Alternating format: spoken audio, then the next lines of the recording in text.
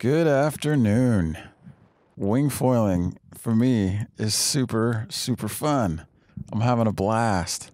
And the best part is wing foilers are really nice, kind, welcoming, valuing, uh, enjoyable people. They're just stoked. I've been hitting up all the various beaches in the bay and everywhere I go, meet new people. They come up, introduce themselves. They're they're like glad to see me. They're stoked. They're just great vibe and it just like seems like there's like a thriving community among wind people and it's it's so cool. I'm I'm really stoked. I'm almost kind of embarrassed to, to bring my like uh, uh, surfer my wave kind of vibe, you know, that decades old kind of thing. And at the same time, I'm I'm really relieved to be able to just go fly and and have cool people around and and and have it be a fun just having fun playing in the ocean and wing foiling for me is the such a rad way to play. I, it's windy every day. I get to ride all this swell and try all this stuff and it's just man so fun.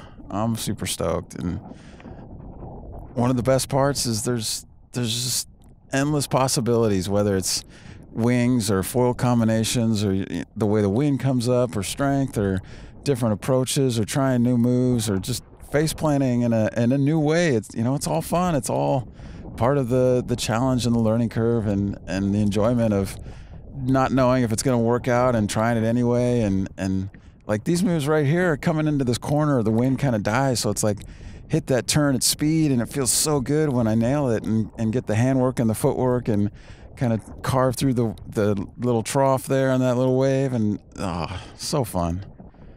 Wing foiling's rad.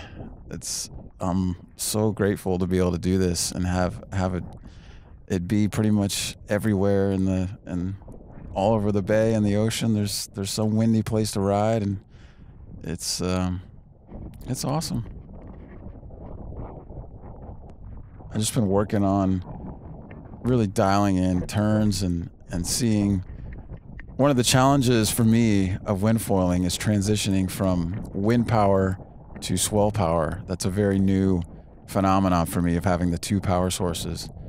And so it's it's really fun to, to kind of learn when to turn one off and engage the other and, and how to make that transition.